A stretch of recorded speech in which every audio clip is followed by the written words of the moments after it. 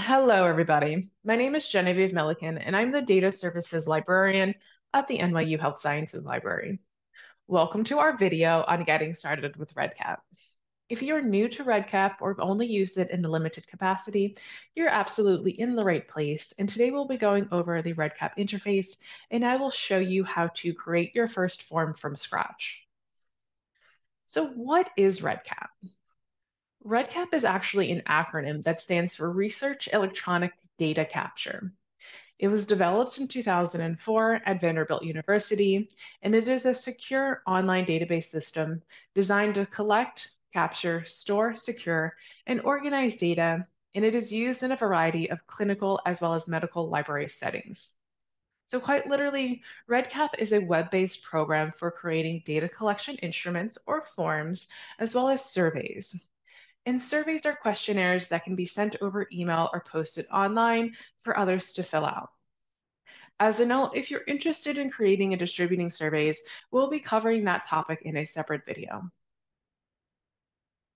At NYU Langone Health, we actually have two instances of REDCap. We have Open REDCap, which only requires you to have an internet access um, to fill out a form. And we also have internal REDCap, which is only functional inside the NYU Langone firewall.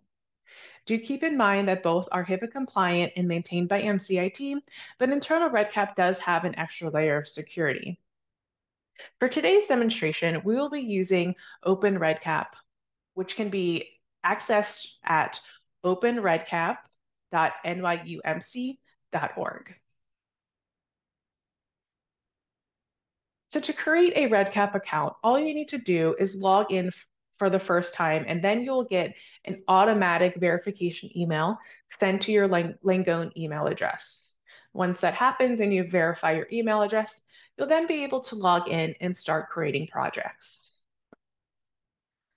At any point, if you need to sponsor another individual for a Kerberos ID, you can do so by going to the MCIT service catalog in Inside Health and searching for access and termination request.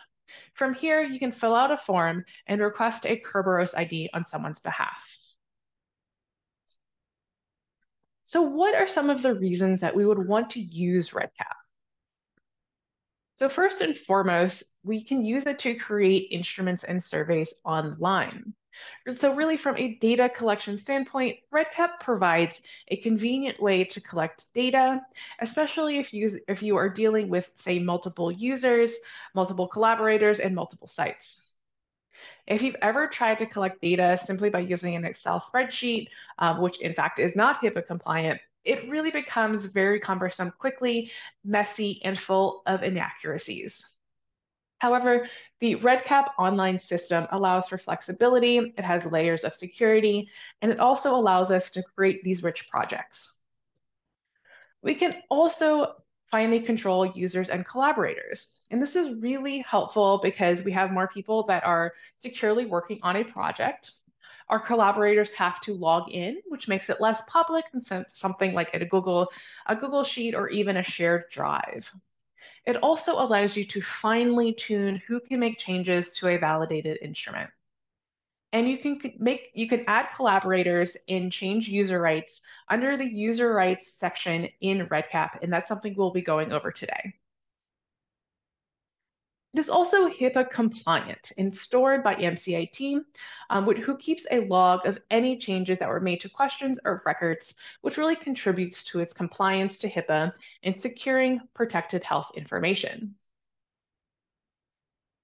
It also keeps your data cleaned with data quality. So there are a variety of data quality tools that are built into REDCap, and we'll be going over a lot of these today.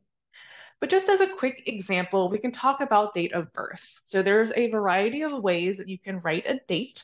Um, you can write it day, month, year, year, day, month, what have you. Um, but within REDCap, we have validations such as date validations, which make things really clear on how we should be recording a certain piece of information. So lastly, REDCap um, allows us to export in a variety of formats. So REDCap in and of itself is a data collection tool, not necessarily a data analysis tool. So a lot of times we're going to want to pull our data out of REDCap into another um, software such as SPSS, R, or really the analysis tool of your choice. So REDCap allows us to export in a variety of formats. All right, so I'm gonna go ahead and stop this video. And then in our next video, I'm gonna do a hands-on demonstration of the REDCap software.